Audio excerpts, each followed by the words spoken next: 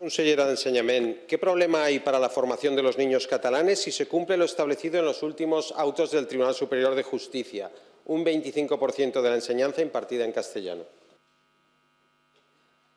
Té la paraula per respondre l'honorable senyora Irene Rigau, consellera d'Ensenyament.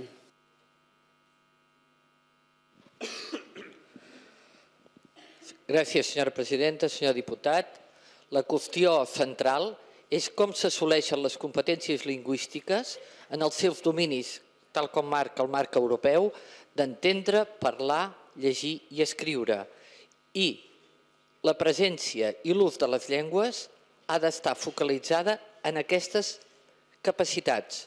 No és una qüestió percentual, és la qüestió que garanteixi el domini de les capacitats bàsiques lingüístiques, al meu entendre. Té la paraula per repreguntar l'il·lustre senyor diputat.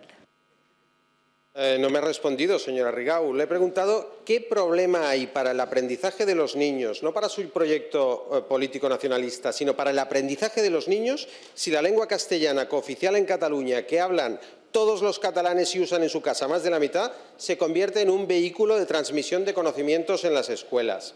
Empiezan ustedes a asombrar a propios y extraños, eh, señora Rigau, a los directores de medios digitales soberanistas que consideran la inmersión contraproducente y una antigualla, a Victoria Camps, catedrática de ética, que en un artículo del País de ayer les pedía flexibilidad para adecuarse a la realidad y les reprocha que el monolingüismo sea para ustedes solamente una cuestión de principios. En Cataluña conviven sin problemas dos idiomas, el castellano y el catalán. En cambio, tenemos un sistema monolingüe como si fuéramos Murcia o Extremadura. ¿No lo ve raro, señora Rigau? Nuestra riqueza idiomática no debería tener un reflejo en la escuela y en todas las instituciones. Es que ustedes y las asociaciones que les dan soporte no pueden evitarlo y promueven eslóganes que son de traca. Un país, una lengua, una escuela. Es un lema que podría suscribir Franco. Esquerra Republicana, Convergencia y Unión y Franco. Perdone que se lo diga. La situación del catalán ya no es la que había en 1980. Despierten. Revisar el sistema de la inmersión lingüística 30 años después de implantado sería un acto lógico e inteligente. Es una cuestión de derechos, de libertades y de igualdad.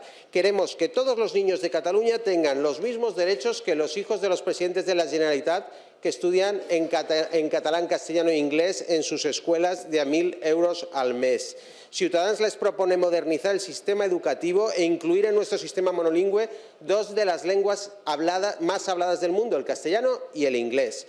Nuestra propuesta ya la saben, señora Rigau, lenguas vehiculares, 40% catalán, 40% castellano, 20% inglés. Nosotros ya sabemos cuál es la suya, 100% lengua vehicular en catalán. Hablemos y acordemos un porcentaje en la línea de todos los países de Europa, que deje atrás 1980, cuando acababa el franquismo y empezaba la inversión, y dé a nuestros alumnos un sistema educativo de calidad como en todos los países de nuestro entorno. Señor diputat, té la paraula per respondre a l'honorable consellera d'Ensenyament. Gràcies, presidenta. Senyor diputat, és més que manifest que el model actual a vostè no li agrada, ni al seu grup, que és el model que està recollit a la LEC i que és un model ampli. Ara, miri, avui mateix el filòsof Gabilondo diu que un ha d'aprendre a viure una mica fastiguejat sense donar la culpa als altres. Jo a vegades els recomanaria aquesta frase, perquè el nostre model és un model obert.